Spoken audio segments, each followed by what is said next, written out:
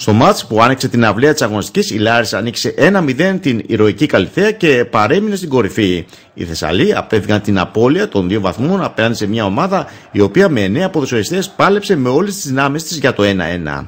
Το παιχνίδι ξεκίνησε ιδανικά για την ΑΕΛ, καθώς μόλις το 18 πήρε προβάδισμα στο σκορ και όλα έδειχναν πως θα είχε ένα άνετο απόγευμα. Ο Γκίνη δεν έδιωξε, ο Ναγιάρ έκλεψε, η μπάλα έφτασε στον Ρέτζα, ο οποίος βρήκε τον Βαρέλα και αυτός έκανε το 1-0. Στο 31 η Καλυθέα απειλεί με σουτ του Μπούζα, αλλά ο Ξενοδόγοφ μπλοκάρει την μπάλα. Ο Μουκτάρης είδε σωστά την δεύτερη κίτρινη κάρτα στο 51 και άφησε την ομάδα του με παίκτη λιγότερο. Κάπου εκεί η Λάρισα φαινόταν πως θα έχει την ευκαιρία να καθαρίσει πιο άνετα το μάτς. Το σουτ του Μπόγιοβιτς στο 65 δεν βρήκε το στόχο και κάπου εκεί οι φιλοξενούμενοι ήταν όλο και πιο απελητικοί. 6 λεπτά αργότερα ο Μασένα ζήτησε πέναλτι που δεν ήταν. Ο Μονιάκης πήγε να του ζητήσει το λόγο και αφού ο Βραζιλιάνος σηκώθηκε από το έδαφος, ο αμυντικός της Λάρισας έπεσε στο έδαφος χωρίς να τον ακουμπήσει. Ο διαιτή της αναμέτρησης έβγαλε απευθείας κόκκινη κάρτα στον επιθετικό της Καλυθέας και άφησε την ομάδα της Αθήνας με 9 ποδοσφαιριστές.